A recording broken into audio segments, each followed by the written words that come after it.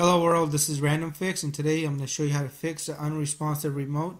So this might be a, a media button or a power button that isn't working for you and I learned this technique many years ago working at audio video store and this works about 50% of the time as long as you don't have a bad IR up top. I would definitely give this a try before you go replacing batteries and remotes and everything else, here's what you want to try.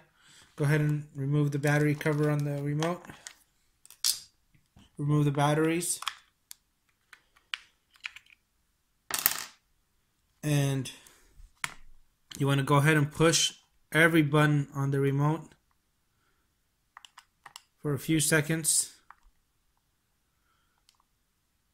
And then just work your way down.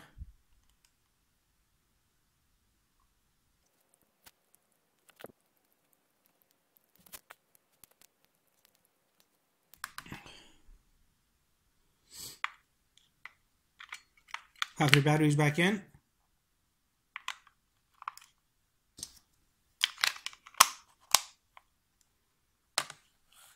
And you're all set. Now give it a try. This works about 50% of the times. Thanks for watching. Have a great day. Let me know if you guys have any comments. Hit the subscribe button, and I really appreciate your continued support.